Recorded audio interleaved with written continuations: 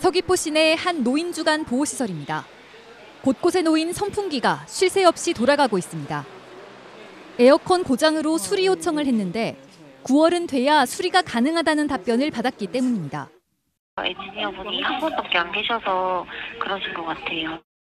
급한 마음에 사설업체에 문의해봤지만 이마저도 어려운 상황. 20여 명의 어르신이 선풍기에 의지해 폭염을 견뎌야 하는 상황입니다. 아니 여름 다 지나간 한 달이 넘은 9월에 이거를 수리가 된다고 하니까 정말 답답하잖아요. 그 어르신들이 부채를 가지고 차에서 아, 부채질하고 있는 거 보면 제가 너무 죄송해가지고 일반 수리업체엔 소비자들의 의뢰가 쏟아지고 있습니다. 그 한 3주 전에 에어컨을 켰는데 에어컨 냉기가 생각보다 너무 약해가지고 이제 한 3주 정도 지나서야 이렇게 와서 수리를 하게 됐어요. 이 업체에서는 수리 요청이 폭주하면서 수리기사 한 명이 많게는 하루 10건 이상의 업무를 처리하기도 합니다.